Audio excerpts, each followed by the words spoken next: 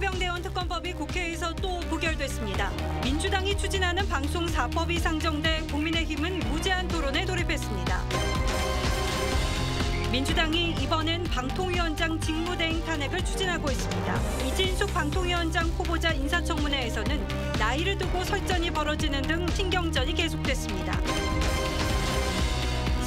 서울중앙지검장이 수사팀으로부터 김건희 여사 조사 보고를 받고도 3시간 넘게 검찰총장에게 알리지 않은 사실이 뒤늦게 드러났습니다.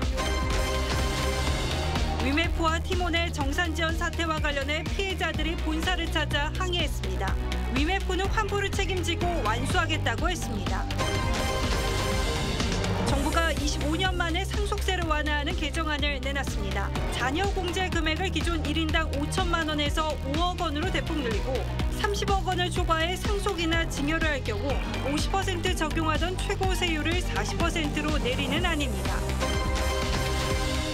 유령 법인을 설립한 뒤 24개 회사로부터 16억여 원을 뜯어낸 일당이 재판에 넘겨졌습니다. 전자소송의 허점을 악용했는데 법원도 속았습니다. 내려졌습니다. 동물원에서는 보양식이 제공됐습니다.